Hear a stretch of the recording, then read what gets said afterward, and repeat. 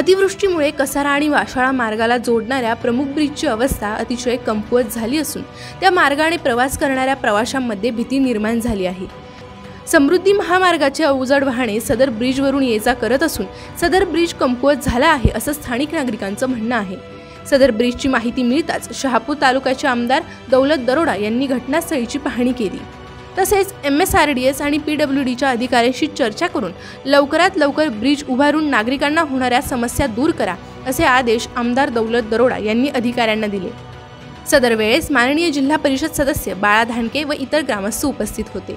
संपूर्ण शहापूर तालुक्यामध्ये अतिशय पर्जन्यवृष्टी झाली. आणि त्या पर्जन्यवृष्टीमध्ये संपूर्ण तालुक्याचं आचरणाचं नुकसान झालं. आपण बघत आहात या ठिकाणी हा जो शहापूर नाशिक शहापूर आणि मुरबाडला जोडणारा हा ब्रिज आहे. हा जीर्ण झालेला आहे. पुराच्या प्रचंड प्रवाहामध्ये त्याचं संपूर्ण स्ट्रक्चर हे वाहून गेलेलं आहे. आम्ही वेळोवेळी शासनाकडे पाठपुरावा करतो की हे स्ट्रक्चर व्हावं. शासनाकडून आम्हाला उत्तर येतं की M R M S R D C करेल की पी डब्ल्यू करेल. ह्या दोघांच्या वादामध्ये हे स्ट्रक्चर आज या ठिकाणी भिजत पडलेलं घोंगडा आहे.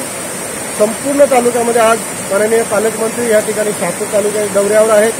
त्याच्याबद्दल मी संपूर्ण शहापूर मतदारसंघामध्ये ज्या ज्या ठिकाणी पालकमंत्री आज जात आहेत त्याच्या त्याच्या ठिकाणी मी स्वतः त्या ठिकाणी जाऊन पाहणी केलेली आहे. कसारा आणि वाशाळा विभागाला जोडणारा हा प्रमुख पूल आहे आमचा भातसा नदीवरील.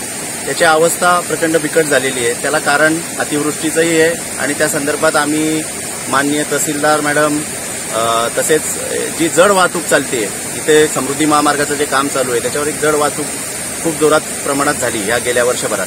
त्या संदर्भातही आम्ही संबंधित कंपन्या असतील M S R D S यांना वारंवार निवेदन तोंडी कळून सुद्धा त्याच्यावर कोणतीही कार्यवाही केली नाही आणि आज त्या अव त्या प्रकारामुळे आज ही अवस्था ब्रिजची झालेली आहे. अतिवृष्टी हे एक कारण असून जड वाहतूक हेही दुसरं कारण आहे.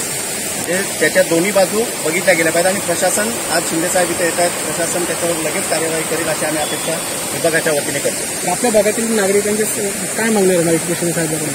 हा विभाग आदिवासी अतिदुर्गम भाग असून इथे जवळजवळ पंधरा हजार लोकवस्ती या विभागामध्ये राहते वाशाळा विभागामध्ये. आणि त्याला जोडणारा प्रमुख मार्ग म्हणजे कसारा वाशाळा रस्ता. आणि त्यावरील हा ब्रिज जर तुटून गेला तर याच्यापुढे आमचा दोन महिने सहा महिने कुठलाही संपर्क राहणार नाही.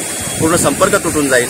आणि आदिवासी लोकवस्ती असेल दवाखाने असतील आम्हाला कसाऱ्याचा संपर्क तुटल्यामुळे खूप मोठ्या अडचणीला तोंड जावं लागेल न्यूज इंडिया ट्वेंटी सेव्हनसाठी प्रतिनिधी शहाबाज दिवकर कसारा.